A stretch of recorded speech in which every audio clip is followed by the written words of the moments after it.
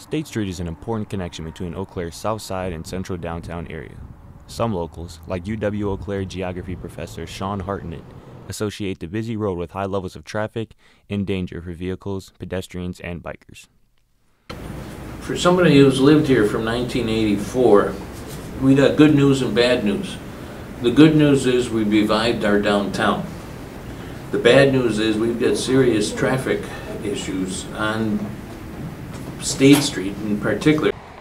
To take care of traffic issues, the Eau Claire City Council approved the State Street reconstruction project to begin in June. The project will create roundabouts at Hamilton Avenue, MacArthur Avenue, and Lexington Boulevard along State Street. According to the city's engineers report, the roundabouts calm traffic flow through intersections as well as increase pedestrian safety crossing. Deputy City Engineer Leah Ness says the city did walk audits and community outreach in the neighborhoods to see what residents' concerns were. One of the main responses from the walk audits was the concern for uh, accessibility crossing State Street for pedestrians, um, both on the lower campus and at the Lexington and State intersection. The implementation of roundabouts will really help with safety and speed of vehicles traveling through State Street. Um, Department map of crash data, the Lexington and State Street intersection has seen 21 crashes between 2013 and 2017. Hartnett was struck by a pickup truck on State Street in October, just blocks from where construction would take place, which left him with a broken leg. He says he looks forward to the construction as a way of managing traffic better and for people to rethink their commuting paths.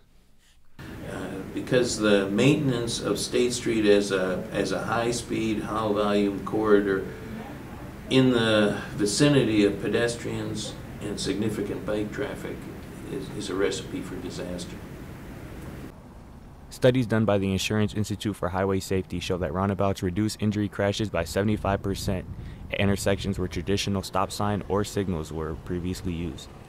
Roundabouts reduce the likelihood and severity of collisions because of lower travel speeds, less conflict points, and shorter crossings.